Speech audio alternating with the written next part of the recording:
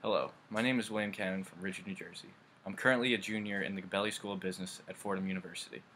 I aspire to have a career in asset or wealth management. I'm a finance major with a concentration in alternative investments and a minor in economics. Over the course of my time at Fordham, I have done much coursework applicable to my desired career field. This includes courses such as Futures and Options, Investments and Security Analysis, Money and Banking, as well as three integrated core projects which emphasize the importance of effective communication and production in a small team. Outside the classroom, I am a three-year member of the Fordham Finance Society.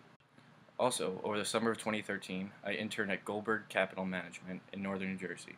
During that time, I helped with accounts receivable, payable, and bank statement reconciliation. I also worked with the finance team on yearly forecasting efforts, as well as enhancing my skills in Excel and Access.